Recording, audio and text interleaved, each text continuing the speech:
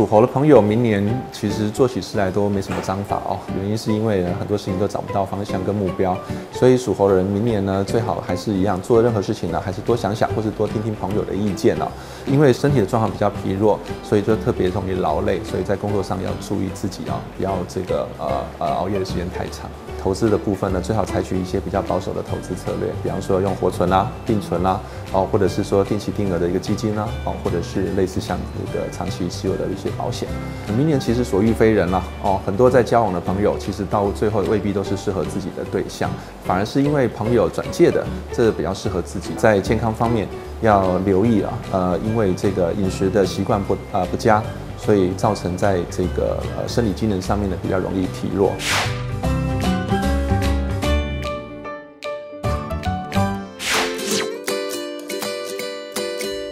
明年暑期是所谓的做太岁啊，所以很多事情呢比较容易临到自己头上来，也就是说可能跟你没关的事情，呃，必须要您自己亲自去处理啊。团队合作的工作啊，可能很多事情到最后都必须自己要一肩扛起啊。因此在初步的一个分工上面，最好能够事先先说好哦，免得到最后呢，所有事情都必须要自己来做。属鸡的朋友，明年是别人的天使啊，很多人都会需要你的帮忙哦。因此呢，明年的这个属鸡的朋友会显得自己比较一个呃比较辛苦，非常多的一个。爱情的机会可能都出现在你的旅行，或是说在您过去啊比较不熟悉的一个环境，不管是到新的工作地点，或是说因为旅行的关系，可能都会让你有机会遇到呃你心仪的另外一半。健康方面啊，明年要留意的是这个足部还有臀部啊方面的一个外伤哦，包括您自己在呃所谓的肺部，这也是一个明年容易呃感染的地方。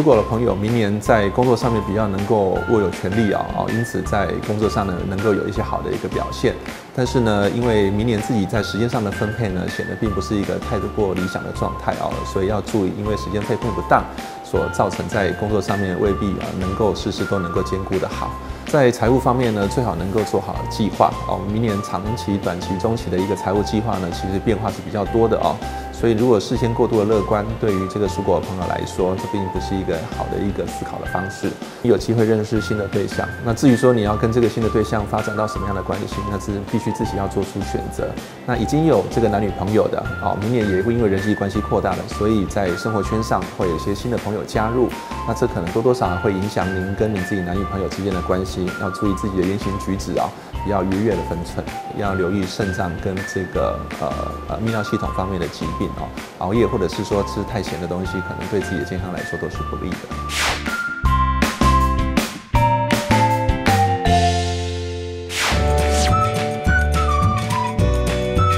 租的朋友，明年容易为了金钱、为了工作而忙碌哦。那原因是自己在过去啊财务管理上面的一个失控，造成自己啊现在今年必须要积极营营啊。很多事情看待的态度啊，都会比较从工作或事业上面着手，因此在感情上面就比较容易忽略啊。财务上的管理，呃，最好一样也要做好一个好的一个分配的工作。那过去曾经有的投资的一个标的啊，或者是投资的一个项目，也可以在今年做一个检视啊。已经有男女朋友要小心，因为自己的过度的轻忽，造成感情方面的一个。呃，破裂，在健康方面要注意大肠，